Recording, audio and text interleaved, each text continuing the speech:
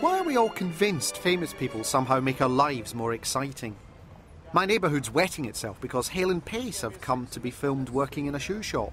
SF uh, slip on? Though to experience what it's really like being ordinary, Hale and Pace are going to work in it for 17 years. And there are no plans to make it into a television programme. Those boots we ordered for the winter, it looks like being a mild winter. We're going to get stuffed with piles of them in the spring. We can't sell.